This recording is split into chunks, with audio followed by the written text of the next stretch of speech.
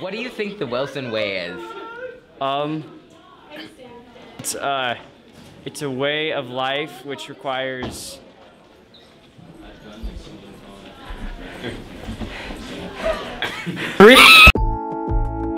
Uh, the Wilson way is is is not doing drugs and being a good person.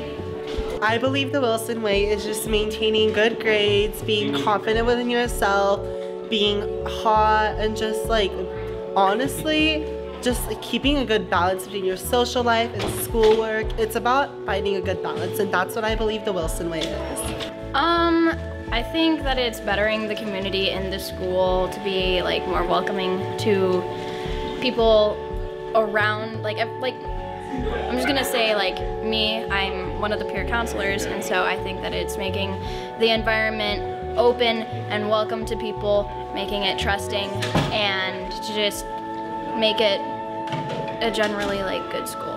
I think the Wilson way. I don't know. Well, I think the Wilson Way is the moral guidelines for how kids at Wilson should act in order to succeed in school.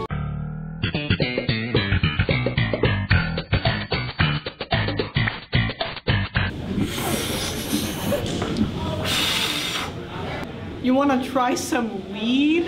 I'm good. That's not the Wilson way. Loser! No, let me.